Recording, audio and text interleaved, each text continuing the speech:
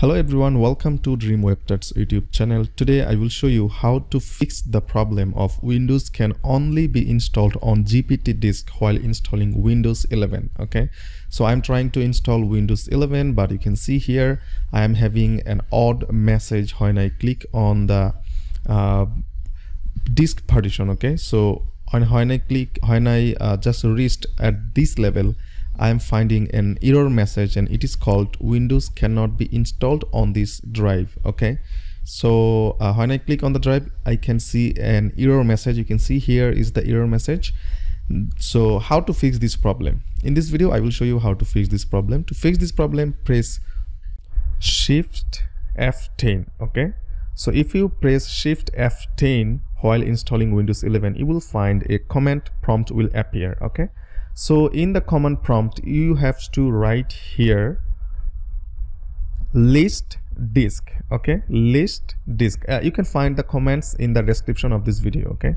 At first you need to type list disk and now you have to select the disk number. So i will uh, i will do this in disk 0 okay? So this is the disk. I have uh, i have an ssd which is uh, 1 120 gb so i am selecting you have to write select space disk space number. So you can see I have zero okay? So I will type zero here and press enter.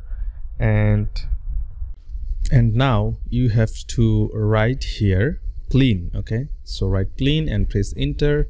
You can see succeeded in cleaning the disk. And the next one is convert space gpt okay so you can see successfully converted to the selected disk to gpt format. And now exit okay? Type exit and leaving DiskPart okay? You can see it's now leaving DiskPart. It is completely done. So what you need to do right now you need to close the window and refresh the uh, refresh the disk okay? So if you click refresh then it will uh, refresh the disks and you will see an unallocated disk. So please be informed your entire hard disk will be formatted and you need to create new partition okay? So uh, you have to uh, click on refresh okay? So click refresh and it will take some time and you can see a new unallocated space okay? You can see every other disk has been formatted and you can see the unallocated space and now you can continue installing Windows 11 as the regular way.